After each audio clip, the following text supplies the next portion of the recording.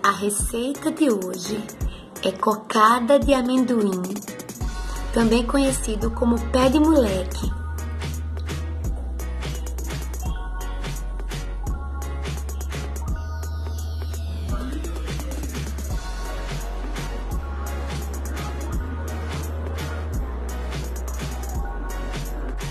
Eu vou começar utilizando 3 xícaras de amendoim.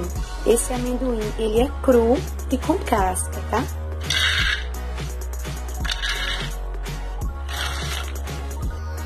Vou utilizar também 2 xícaras de açúcar.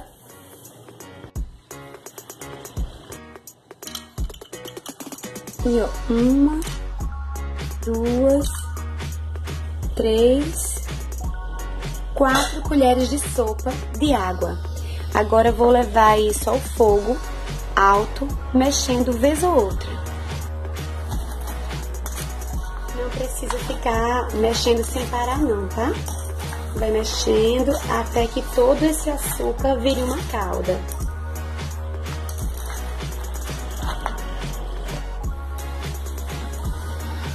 Já está começando a derreter a calda, mas ainda falta bastante.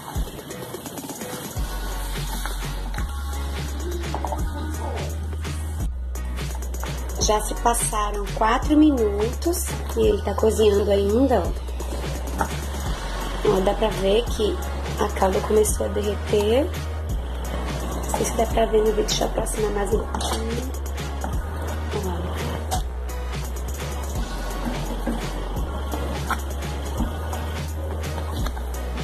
Então tem que estar tá mexendo vez ou outra para que a calda do fundo não queime, tá? Ó.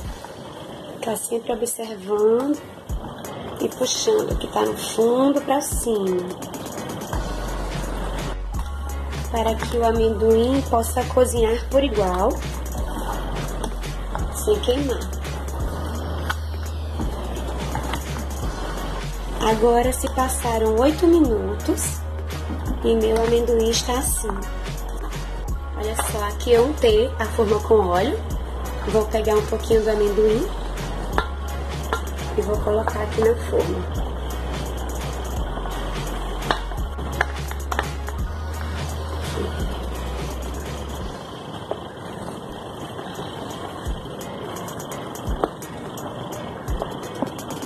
agora eu vou deixar esse meu amendoim esfriar para cortar depois.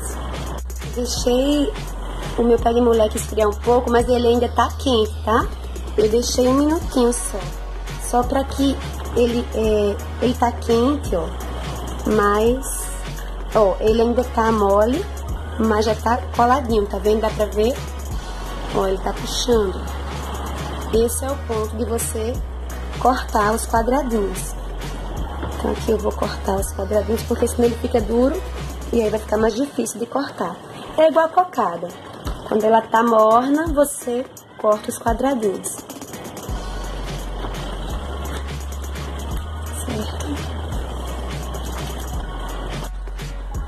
Aqui, eu já vou separando. E aí eu deixo ela esfriar já soltinha uma da outra, desse jeito.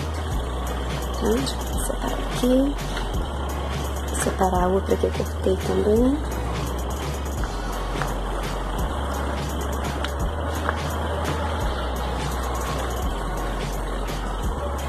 que ela tá um pouco quente ainda, fica difícil de manusear, mas é assim mesmo, tá?